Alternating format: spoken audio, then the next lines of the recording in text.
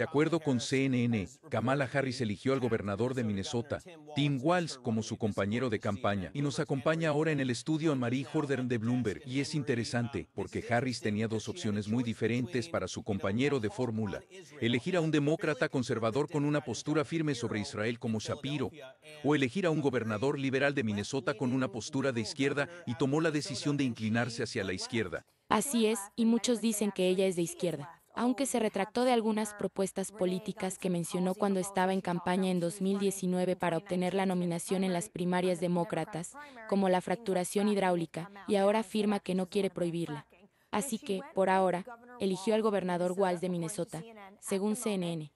Es el gobernador de Minnesota y este es un estado que tiende a votar por el Partido Demócrata y está muy cerca de Wisconsin y de Michigan, y apuntan a que pueda representar a los votantes del cinturón manufacturero. Walsh ocupa el lugar de un hombre amable, con un estilo de vida rural que se comunica de manera sencilla con el pueblo estadounidense. De hecho, en entrevistas o al interactuar con la gente en Minnesota, habla de manera muy natural. Además, este compañero de fórmula de Harris sabe llegar a los hombres blancos y a las personas que posiblemente nunca tuvieron educación universitaria. Por lo tanto, creo que lo eligieron para equilibrar la fórmula electoral. Sabemos que querían incluir a un hombre blanco en la fórmula, y será Walls. Él está en Minnesota y Harris es de California, por lo que Shapiro representaría otra costa. Correcto, representan identidades regionales muy diferentes. Habría representado la costa este, ya que la oeste ya está representada por Harris. Y aunque no se decía abiertamente, los progresistas estaban en contra de la elección de Shapiro debido a su posición sobre Israel y cómo manejó la situación con los manifestantes pro-palestinos. Por lo tanto, es posible que Harris se haya inclinado por Walls debido a este motivo. ¿Cuál es el papel de algunos de estos otros grupos interesados y del Congreso? Hablan de esta situación como diplomacia silenciosa en el Congreso en lo que respecta a Walls y también están los sindicatos. Entonces, ¿cómo podrían influir estos factores en la fórmula presidencial? Creo que querían a alguien que pudiera suplir ciertas necesidades, y probablemente Harris fue quien tomó la decisión final de elegirlo. Es probable que crea que Walsh es fuerte en áreas en que ella no lo es, y ya veremos lo que eso significa esta noche cuando hablen con los votantes del Medio Oeste en el evento de campaña. En lo que respecta a la fórmula de Harris, Ambos candidatos acuerdan bastante en una gran cantidad de aspectos relacionados con la política. Mencionaste que es progresista. Respaldó las comidas gratuitas en universidades estatales, la protección del derecho al aborto en Minnesota y la atención médica para la afirmación de género. Es bastante de izquierda.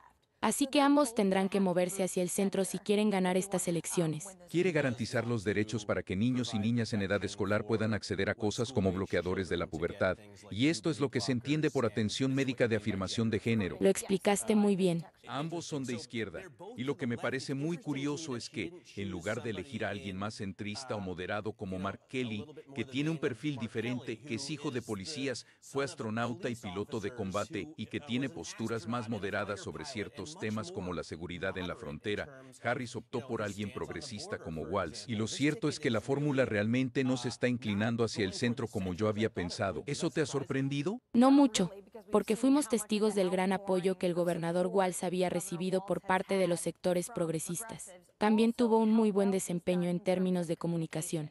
De hecho, él fue quien acuñó toda esta idea de que los republicanos son raros, esas fueron sus palabras exactas. Cito sus palabras, Trump y Vance son raros. Harris ha ganado popularidad entre la generación Z y en TikTok, por lo que ya ha demostrado ser un buen comunicador. Y también ha hecho un buen trabajo a la hora de atraer donaciones. Y siguiendo la misma línea de Kelly, que fue un astronauta, Walsh también fue oficial de la Guardia Nacional, congresista y maestro.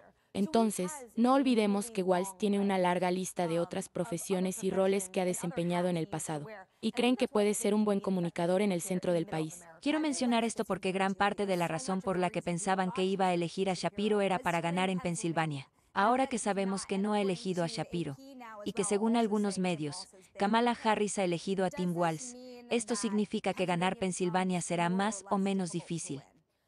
Bien, eso está por verse la gente comenzará a preguntarse qué tan importante es la figura del vicepresidente. ¿Creen que no lo es? Sí, y qué importa quién lidera la fórmula. Sin embargo, en elecciones como estas en las que pequeños grupos de votantes pueden marcar la diferencia, Y si es como muchos creen que la elección se decidirá en Pensilvania, entonces tener a Shapiro podría haber sido una gran ventaja, porque tiene excelentes números en Pensilvania y es muy querido allí. Lo que podría resultar un tanto incómodo esta noche es que el gobernador Walz viajará en avión hacia el estado de Pensilvania para el comienzo de la campaña electoral. Harris lo va a presentar como compañero de fórmula en el acto y será en el territorio de Shapiro. Lo bueno es que estará el resto del gabinete también para respaldarlo. Muchas gracias por la nota, Anne-Marie.